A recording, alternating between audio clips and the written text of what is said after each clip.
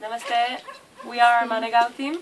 We're working in Manegau, Kavre area for almost three years, two and a half years. Yesterday, uh, actual middle of the day, uh, we have a earthquake. Volunteer community people are really don't know what to do and where to go. Most of the houses of the community uh, are not safe now. We have to sleep in the field.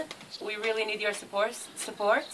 The most important thing for us now is um, to make sure that people will have somewhere to sleep and to help people to rebuild their houses.